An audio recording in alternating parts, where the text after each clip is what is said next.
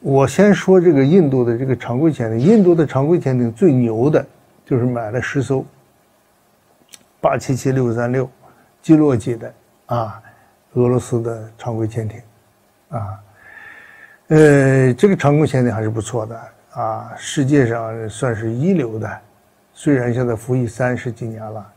但是算是世界一流的常规潜艇，号称大洋黑洞嘛，对不对？是苏联时期造的。现在俄罗斯呢，经过改进以后，那这个潜艇还是相当不错的。呃，这个里头呢，就是买了十艘里头的第六艘，这个潜艇叫“新多拉克沙克号”，啊，呃，这艘潜艇呢，然后这个在二零一三年的八月十四号停在南部城市孟买造船厂。这个孟买造船厂我还是去参观过啊，停在这个孟买造船厂。结果晚上突然爆炸了，船上所有的人都死了，这个潜艇还沉没了，哎，这怎么回事啊？最后经过调查，调查以后发现这艘潜艇创了好几个第一，啊，第一次用导弹击沉潜艇，我还是第一次听说用导弹击沉潜艇，因为导弹是在大气层里边飞行，它可以击沉舰艇，啊。击沉航空母舰、击沉驱逐舰、击沉巡洋，但是它不能击沉潜艇，潜艇是在水下的，啊，说这个导弹能不能击沉水面状态的潜艇，存在可能性，但是也很难，因为潜艇的壳体是耐压壳体，尤其是苏联、俄罗斯造的潜艇，它用钛合金造的，一般的导弹带个一百斤。一百公斤、二百公斤的炸药，你想把一艘潜艇给弄沉了，这个难度很大。但是把一艘水面舰艇弄沉了，这个是可能的，对不对？你看那个美国菲茨杰拉德号被人家的一个啊，这个菲律宾一一艘集装箱船撞成那德行啊，所以水面舰艇可以，它皮儿薄肉厚啊，是那样的。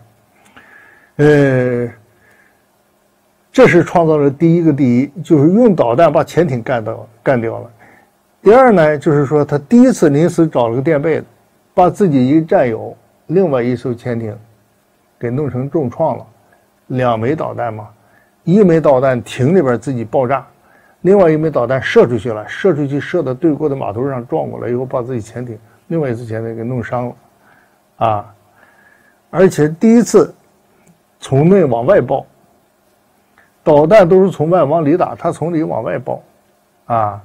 这个从里往外爆有没有呢？以前有，但是是鱼雷。你比方说库尔斯克号，库尔斯克号它是发射鱼雷的过程当中，鱼雷没有发射出去，结果在舱内爆炸，啊，就这样的。它这是导弹在舱内爆炸，说什么原因呢？怎么这个大晚上的，他是在训练，在演习啊？干什么？在港内进行啥演习呀？啊？他是那天晚上，这十八个人在那值班，值班呢，这十八个人去俄罗斯，俄罗斯呢就是维修啊，呃，这个潜艇中中修，中修的过程当中呢，装了一个新的武器，叫做俱乐部 S 导弹，啊，装了一个新的武器，就是在这个呃北德文斯克造船厂，俄罗斯的，在那个地方修，啊。这个换了蓄电池，装了新的俱乐部 S 导弹，装了十套印度的自己新的什么声呐呀、通信设备呀、冷却设备呀、雷达呀什么什么，交付印度了，然后开回来，挺高兴啊！啊，这个今天晚上值班的这十八个官兵呢，都是去到俄罗斯北德文斯克啊去维修、去培训，回来以后都是技术尖子。晚上值班的时间呢，大家说咱们闲着也是闲着，啊，这个这个兵得靠练呀。咱们闲着没事咱们晚上练练兵怎么样啊？练兵不是说看手册，练兵开始装导弹。哇，这这个装导弹最好不要晚上折腾，而且十八个人，一般的装导弹的时候是高危险性的动作，对不对？要岸上和。艇上要配合起来，啊，在艇上自己就干起来，都实弹，在艇上就开始干起来了，啊，但是说这个导弹是不是得拿吊车什么吊进去干什么？装鱼雷，大家看到这外面装鱼雷，那是从岸上往那拿大吊车没有，它是就在弹上，在那个那个架子上放着。这个导弹不是垂直的啊，大家脑子里不要想美国那种导弹，它不是垂直发射的，它是通过鱼雷发射管发射的。鱼雷发射管里面六个鱼雷发射管，要么就发射鱼雷，要么就发射导弹。这个导弹跟鱼雷差不多大小，也是看它有翅膀，鱼雷是没翅膀的。这个导弹因为在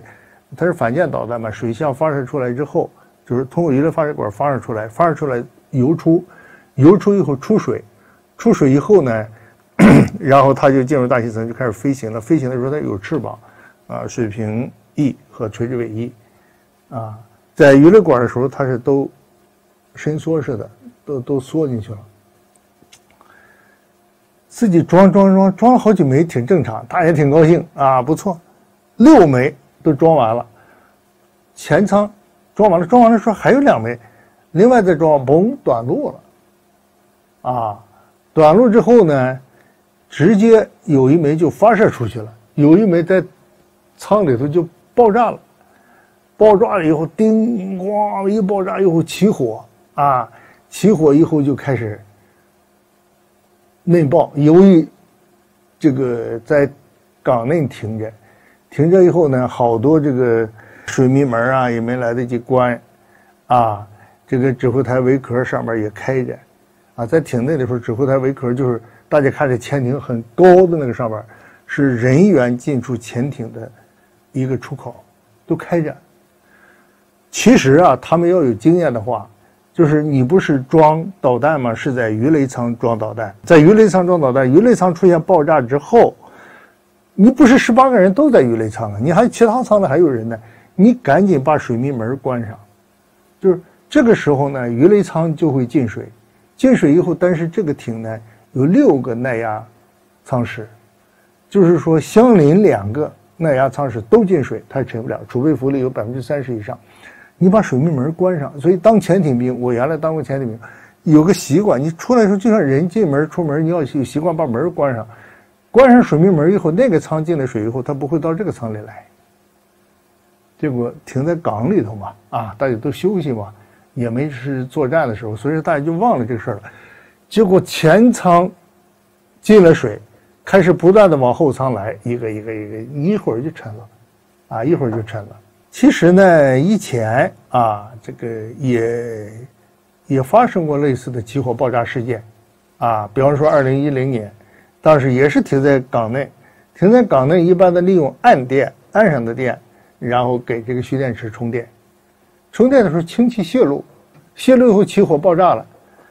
啊，死了一个工程师，还有两个人受伤了。三年，这艘艇同样一艘艇发了两。发生了两次恶性事故，都是停在港内发生的，这都是说明这个舰它的训练、它的规章制度不严格啊！你就是行政管理嘛，你的管理不严格嘛？你在港上值班的人，值班的人你顶多看看书，怎么自己在那整整起操作来了？你操作也就完了，你模拟操作。我我原来当兵的时候当过。号手的，我是操作的，操作是一令一动啊，啊，是吧？上面说把开关打开，啊，开关一打开，啊，左满舵，满舵左，你得有有有命令有回令，那自己摸索摸索，几个几个哥们在那装起导弹了，你这这什么军队啊？这是，对不对？你说这样啊，哎呀，这个基洛基啊，真是可惜，基洛基还是一个很好的潜艇，所以说我就说。武器是战争的重要因素，但不是决定的因素。决定因素是人，而不是武器。你这个多好的一艘潜艇啊！啊，呃，这个一九九五年圣彼得堡做船长造的，九七年下水，下水以后当年就服役。这个这个俄罗斯啊啊，我经常说俄罗斯弄别的不行，现在造航母造不出来，但是造核潜艇、造常规潜艇、造飞机，那俄罗斯大拿。啊，俄罗斯大拿，这个这个潜艇两千三百吨，我们中国也买了啊！我这我上这个潜艇上去过啊，上这个潜艇六个六个鱼雷发射管啊，是这样的。呃，导弹说它这个导弹不错呀啊，一枚导弹就能把一艘潜艇给炸沉了，那是主要是从里头往外炸，啊，堡垒最容易从内部攻破，哈哈，对不对？这个导弹呢，这个叫俱乐部 S 啊，这样的，呃，这个导弹还是不错的，俄罗斯的导弹也很好啊，比方说超音速导弹，俄罗斯是有名的。这个导弹呢，固体助推，啊，这个发动机是固体的啊。这个弹体八米长，跟鱼雷长度差不多，战斗部两百公斤，所以这算很厉害的，超音速的很厉害。这导弹打水面舰艇可以，没想到第一次试验就在印度自己的潜艇里边给干了一下，没了，炸沉了，炸沉了，炸沉了以后，这怎么办呢？好多人家属说，这个这个这个活要见人，死要见尸啊。你现在死了，现 在尸体的那个全尸得找找啊，所以得打捞啊啊，就要求政府打捞。这打捞政府就开始找打捞公司，看谁能干这个事儿啊。这个一通的谈合同、讲价钱，然后这个相互推诿，这办事效率，印度办事效率又拖拖沓啊，一推六二五，折腾折腾折腾，各种不靠谱，折腾十个多月。二零一四年一月份，打捞出水了。打捞出水了，其实它这个是在港口内部，水深也不是太深，又是靠码头状态，潜艇它这个东西要相对来讲比较好打捞啊，比较好打捞，所以说折腾了十个月才打捞出来。这个说起这个打捞沉船呀，中国还是比较牛的。二零一四年四月不是韩国有一艘世越号嘛，一开始翻译成岁月号，一会人家韩国纠正。我们叫世越号啊，死了三千人，也死了三百人。这个船呢，这个满载吧，夯不啷当算上将近一万吨，啊，沉是沉在水下四十五米。这个要打捞啊，不打捞那家属，你看三百个人呢，那家属不干呀，啊，不干，不干以后就找到中国，上海打捞局，啊，就是组织打捞，组织打捞。采取的什么办法呢？上海打捞局出了两千多人呢，啊，这个这个这个准备了三个多月，实际上这个打捞就用了三五天就把这事儿干完了。实他采取了什么办法呢？驳船，两个驳船把它抬起来，从水底下把它抬出来，抬出离水三米的时候，然后放在这个拖船上，给它用拖船给它移位，移位移位就放到半潜。驳船上去，咱们这这次去那个吉布提有一艘船，两万吨，是一个叫东海岛号，是一个半潜船。这个半潜船呢，就是从中国往吉布提那去，装了一个一个的集装箱，哎，装了一个一个的集装箱，然后就是这样的一个大平台，哎，它就像一个集装集装箱船，一个一个集装箱，就相当于搬家公司把东西放在集装箱里运到吉布提去。但你说：“这个你用集装箱船就完了，用这么一个东西，这个半泉山这个平台，你看这个平台啊，到时候它可以往下注水，往这个舱室里边注水，就像潜艇似的，注水它能注到水下十米去，到那个沉船下头一下地上了，把你兜上来了，就这样，像那个叉车似的，直接给你兜上来了，啊，这个厉害，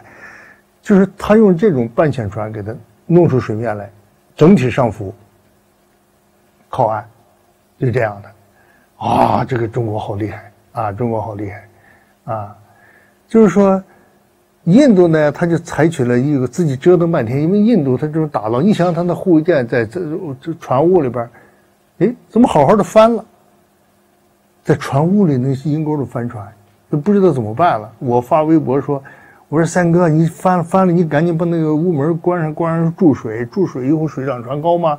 对不对？然后往那边是舱室里边给他注水，他不就扶正了吗？啊，啊，印度他脑子有时候不太好使啊，不太好使，喝那个这个恒河水喝多了啊，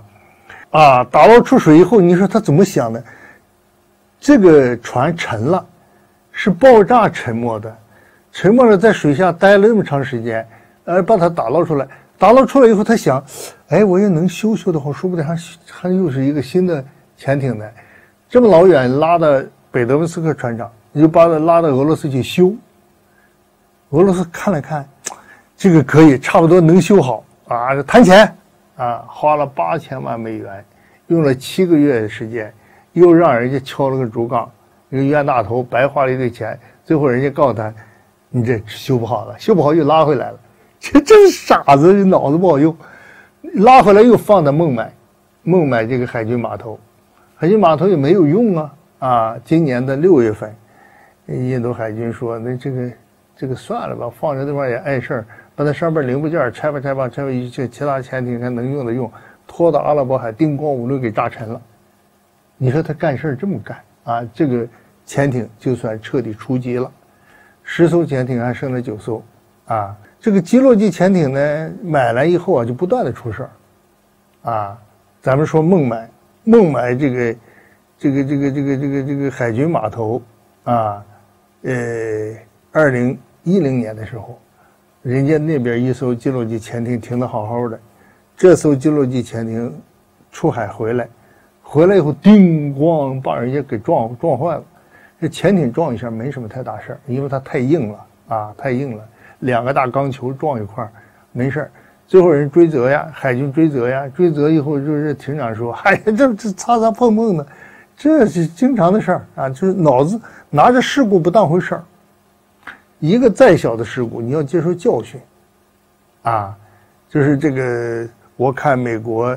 呃，以后当到太总司令一个人说，他说，有一次，他刚当舰长的时候，指挥不慎，碰上了一个浮标，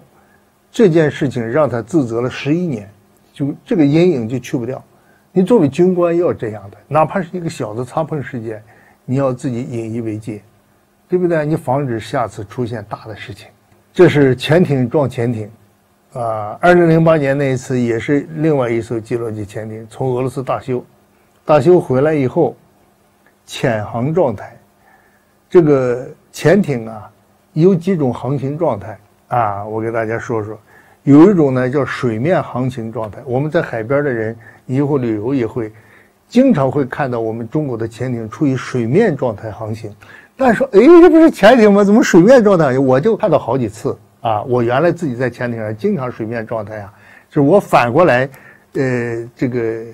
呃，有时候坐舰艇啊，我就看到别的潜艇在那也是水面状态航行。为什么水面状态航行呢？因为黄海和东海的水比较浅，比较浅。最重要的是下边还养海带，海带产潜艇嘛，这梗就这么来的啊！所以说水面状态状态航行。水面状态航行，这是一种航行姿态。第二种姿态就是潜航，哈，一个猛子扎进去，水下一百米、二百米、三百米，这叫潜航状态。这两种状态都不太容易出事儿。最危险的事儿是第三种航行状态，啊，叫通气管航行状态。什么叫通气管状态？就是说，这个潜艇的柴油机。它能够运行是靠有氧气，氧气是燃烧必须的。那在水下怎么的氧气呢？就弄了一个大管子伸出水面来，水面上的氧气进去之后供柴油机工作。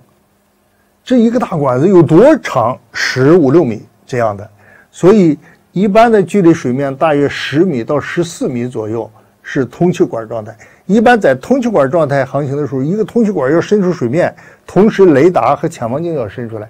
你这个通气管伸出来，如果上面正好有有有有，啊，有一艘船呢，那个人不就撞上了吗？你得要观察，啊，潜望镜状态要看，大家看那个那个那个那个那个潜艇上下边那个，跟那个潜望镜抱着，还一一只眼睛看，那是潜望镜看，可以照相，还有夜视仪，雷达必须伸出去要看周围的这个。这个这个这个这个状况啊啊，有的要看飞机啊，有的要看舰艇啊，周围的商船什么要看。哎，这个船呢，在这种危险深度航行的时候，什么都不开，雷达不开机，潜望镜也不升起来，嘣一家跟一个商船就撞上。你说这训练这不是胡闹吗？啊啊，对不对？盲人骑瞎马，啊，闭着眼睛走，嘣一下撞树上了，啊。就是撞哪算哪，你说这样一艘潜艇，就是训练，就是完全就是不靠谱啊！常规潜艇说起来一共十三艘啊，十三艘呢，现在还剩了九艘基洛级，四艘二零九，二零九是德国很老的潜艇了啊。这个一般的算法，十三艘常规潜艇，按照三分之一的出勤率，那那三五一十五，三四一十二，那就是它的出勤率也就是四艘，啊，对不对啊？那剩下的干什么？剩下的正常的有四艘在维修，也就是，呃，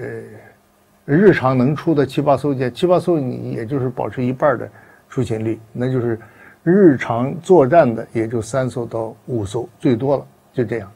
而且它这个印度的潜艇啊，大部分都是服役将近接近三十年的服役期了，现在到了退役高峰了，啊，使用率也不是太好了。印度呢，从八十年代。那个时候苏联还在了，一九八八年开始租借苏联的 C 级查克拉号核潜艇，啊，以后呢，这个一九九一年苏联解体，就把这个潜艇归还给人家了。印度一直感觉呢，租借苏联的核潜艇是自己发展核潜艇的一条捷径，所以到了俄罗斯时候又琢磨这个事儿，琢磨这个事儿呢，二零零四年就是要要要要要租借俄罗斯的一艘核潜艇。俄罗斯说：“我哪有核潜艇租借给你啊？说你那个阿库拉级不错，阿库拉级哦，你这一说那边还停着一艘呢，说造了半截，原来苏联说造了半截啊，这个停工了，没钱了，没钱了，没钱了。说你们印度要不给点钱儿咱们把这个潜艇造完。印度一听挺高兴，拿了七亿美元，结果这一折腾，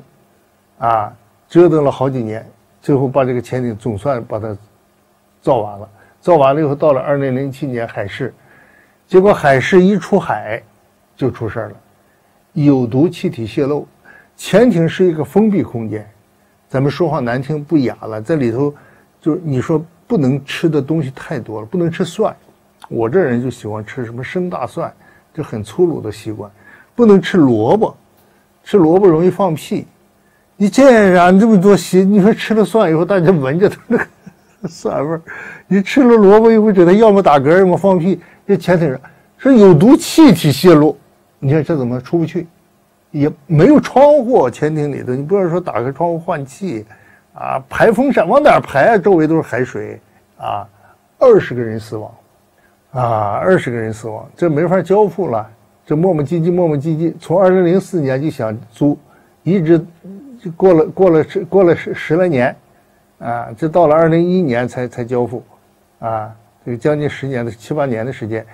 这个潜艇来了之后呢，这个印度还是学习啊，这个，哎，还阿库拉还是很厉害的，九千五百吨，水下航速能达三十六节，钛合金的，啊，这个攻击型核潜艇还很厉害的，学了不少技术。他是说我能用核潜艇，我就能够造出核潜艇来，就这个思路是很怪的，就像。我买了一个笔记本计算机，我一用用了十年了。笔记本计算机，我自己一定要能造出一个笔记本计算机，能造出奔腾芯片来呀！牛啊！我没听说谁能造出奔腾芯片来，啊，就是他就自己研制一艘一艘这个歼敌者，没想到上了贼船了。歼敌者的名声就像光辉战斗机、阿琼坦克一样，成为印度武器装备的奇葩。两千年开始造，啊。二零一六年八月服役，前后弄了十六年，花了将近三十亿美元出来了。大家说中国我们第一艘潜艇核潜艇是弄多长时间啊？那个时候中苏关系恶化，赫鲁晓夫在那搞乱七八糟的啊，建什么联合舰队什么，把毛主席气坏了。毛主席下指示，核潜艇一万年也要搞出来，哇！那个家伙厉害，一万年也要搞出来，大家就开始艰苦奋斗啊，然后开始研制、设计、试验。五千吨呢，我们第一代核潜艇，第一艘长征一号嘛，四零幺艇，现在退役了，这个今年的四月二十七号退役了，对不对？我们造多长时间？一九六八年开工，一九七四年服役，啊。大家知道一九六八年到一九七四年中国是个什么状态吗？文化大革命期间。文化大革命期间那么乱，我们用了六年的时间把它整出来了。你说中国，我们这个集中力量干大事，中国人要是啊，对不对？要想做什么事儿的时候，什么事儿都能干成，这个太厉害了，啊！三哥折腾了十六年，啊，这个在那儿有一次还在上面发导弹，发完导弹以后呢，就是他自己测控都完全不知道导弹跑哪儿去了。我就我也我经常指导三哥，我说你那个发射导弹的时候，你自己那个核潜艇的位置你定位了吗？哎，忘了，就没定位，不不知道自己在哪儿了。